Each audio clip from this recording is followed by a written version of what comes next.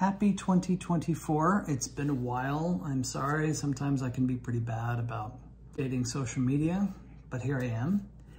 The big thing that's currently going on in my life, it is the 3rd of January, and today marks the third poem that I've uploaded to my new Instagram account called 367 Project.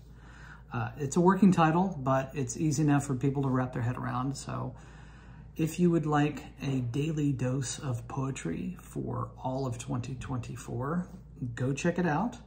And I will tell you a little bit more about this project. But the Instagram is 367 Project, and you will find my name is clearly in the title. It'll be very easy to find. But I wanted to show you a little bit behind the scenes because it's pretty fun. I I have this book right here. This is my, what I call the blue book, for lack of a better word.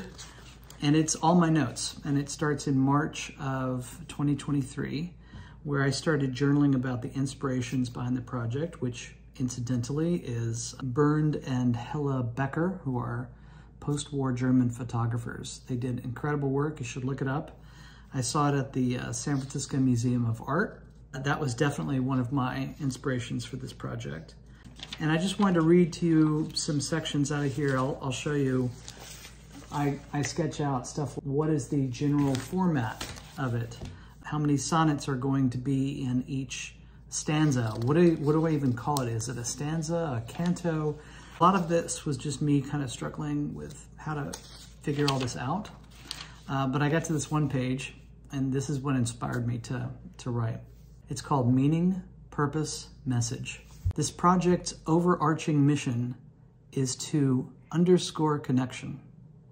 We are alone by our very nature, but we find meaning and value by connecting with others.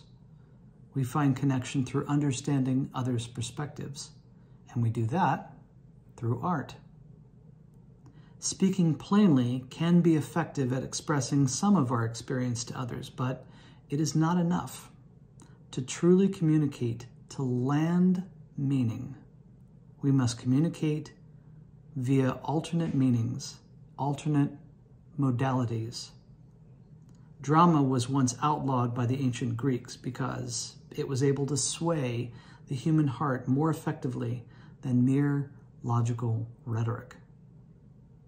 Thus, the chosen medium for this project message is the music of words, that is, poetry. The feeling evoked from each sonnet in this piece should be related to connection in every way. The seeking of it, the bonding of it, the benefits and consequences of keeping it, and the inevitable loss of it. This whole thing is just I've got a chart on how connection figures into everything. Um, I have lots of different iterations. It's It's been very interesting developing this project over time. Uh, I have ideas on themes, on which kinds of themes, how to structure it in such a way that it actually makes sense and really is still evocative at an emotional level. There's a lot that's been going into this. Um, I... Um, I also documented my workflow because there's a workflow in order to get the, let me see if I can, here we go. This is a good one. Let's see. This is a chart for how I can actually box up the poems once they are at an, an exhibit. It's, no detail is too small to, to put in here. Anyway, that's a little bit behind the scenes with my blue book. And this is my Art Students League of New York, which I bought in June. And in it, I have each of the sonnets that I handwrite.